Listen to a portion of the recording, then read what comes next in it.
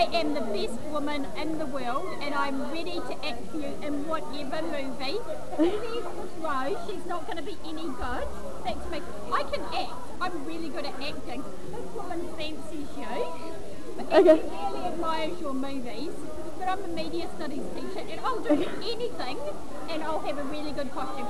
Thank you. You know where I live. See you soon. Goodbye.